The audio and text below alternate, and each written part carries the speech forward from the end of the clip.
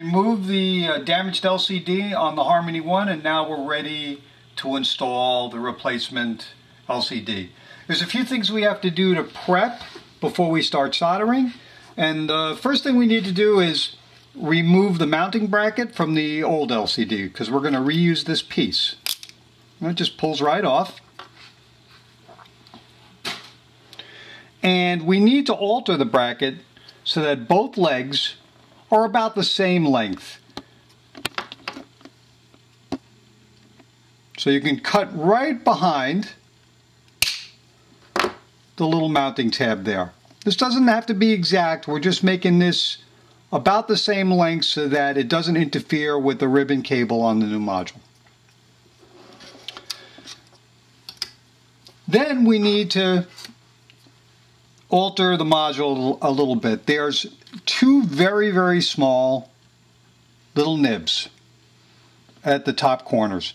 These are typically used to go into guide holes on a mounting bracket so that it fits without having to eyeball it. You can see on the old bracket they would have gone there. But because this is not OEM size,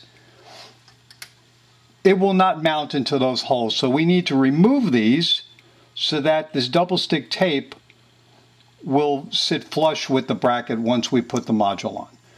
So to take off these nibs, you can just pop them right off with an X-Acto blade and that's it. Now we're ready to actually do some soldering. So I'm going to lay down a bead of paste flux and I'm going to remove the cover on the double stick tape on the module. This will help hold the module down to the board. And then I'm going to use two toothpicks to align the holes on the module with the holes on the board. And that's exactly what they're there for. This will align your leads perfectly to the pads on the board. And then press down gently so that the tape adheres to the board. That's it. Okay, so we're ready. Uh, I've got my iron set to 600 degrees Fahrenheit. I'm using a 1 16th bit. I'm going to put on the fume extractor so it'll be a little louder. I use this solder helper tool just to press down onto the leads as I solder. I'm going to do probably two leads at a time. We shouldn't get any bridging because of the flux, and if we do, we'll simply swipe again to remove any solder bridges we see.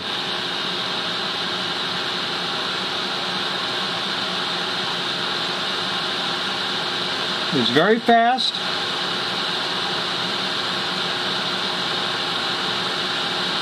I'm going to clean my bit a couple of times.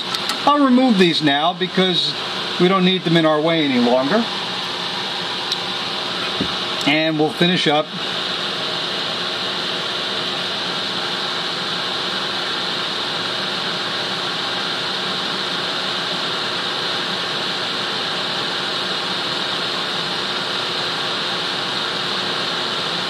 And that's beautiful work. Here we go.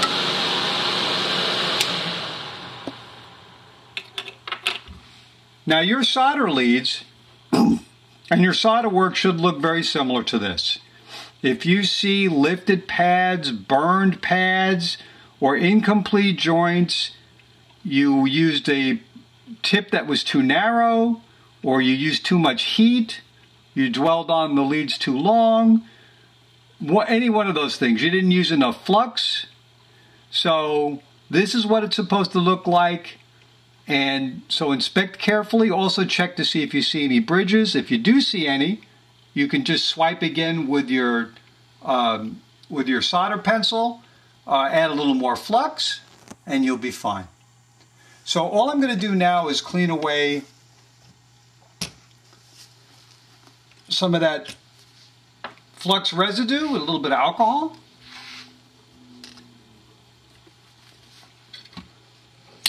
And now you can actually just fold the module up And if you like, you can hold a battery to the terminals and just check to see if the module powers on correctly and boots. You can check for rendering. And everything looks great. Okay.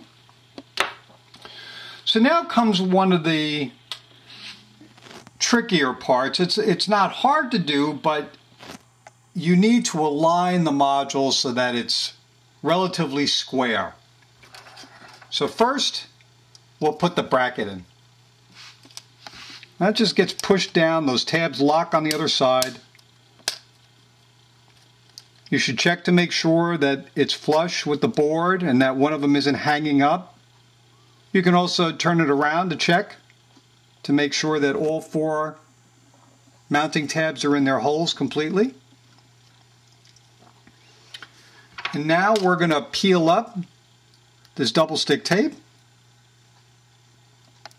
the covers, and to position this, we're not going to press down hard at first. We're just going to fold it up and let it rest where it lands trying to center it by eye. And then we'll look carefully. Looks pretty good. I'm going to take the arrows on the sides and place them there, which will also help me to see if the reveals on the edges are close to the same, and they are. So I think we're good, and I'm going to press down a little more. I'm going to press on the arrows and that will lock them in and you should check to see if the legs have gone all the way through and aren't hanging halfway. Remember, they, there was an order, left to left and right to right.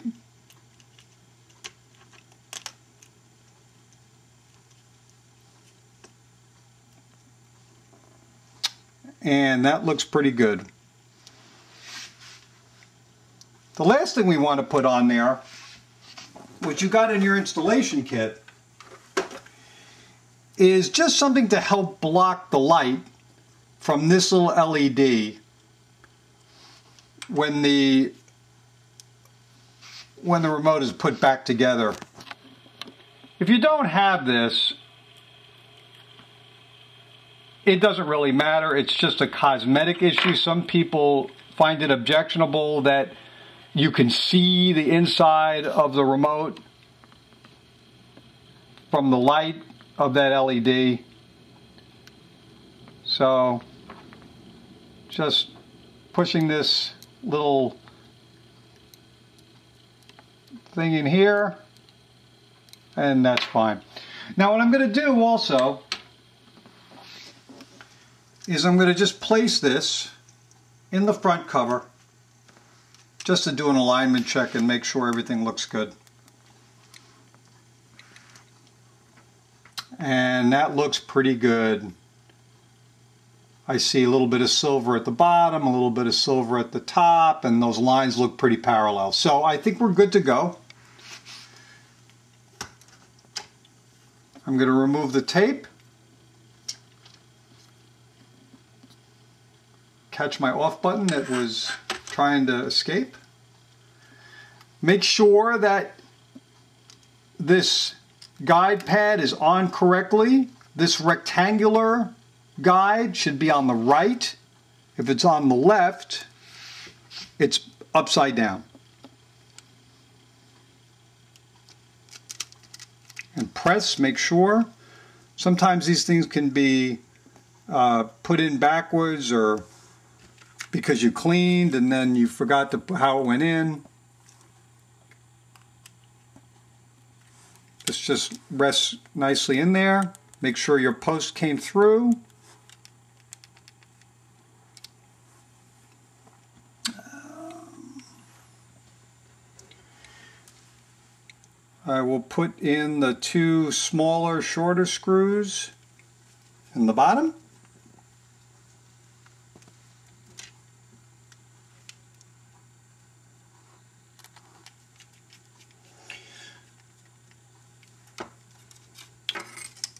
And I'm going to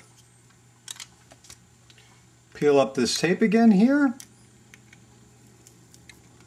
And we're going to insert the touchscreen cable and very gently and slowly close the ZIF connector. Bolt the tape on. All right, grab your back cover.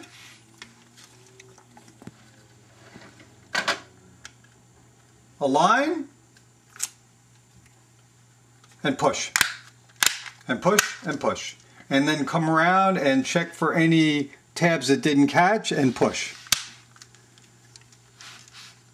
Looks good, looks good. You can install your seven screws, put your label back, snap on the soft touch cover. That goes on like this. Starting at the top, push it in, then just, and again, check the sides. And you squeeze and push to get all the side clips in. You can feel it.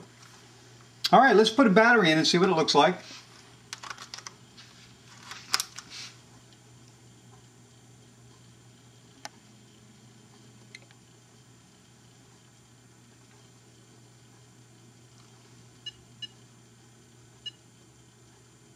Big difference.